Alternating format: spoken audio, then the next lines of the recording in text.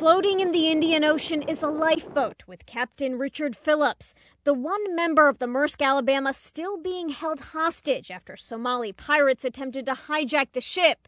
Although the pirates no longer have control over the vessel, let alone any gas left in their lifeboat, they still have one bargaining chip. They've got an asset, and the asset is a captain.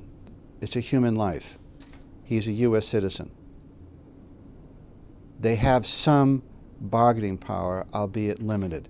Jack Cloonan is a hostage negotiator. He's worked with the FBI for more than 28 years. He's dealt with Somali pirates before. And Cloonan says in this case, the pirates have very few options. Uh, frankly, they made a very big mistake, obviously, tactical mistake by what they did, offloading from the boat and going onto the life, uh, lifeboat. They're going to sit there and decide, you know, what can they do. They can't do anything, frankly.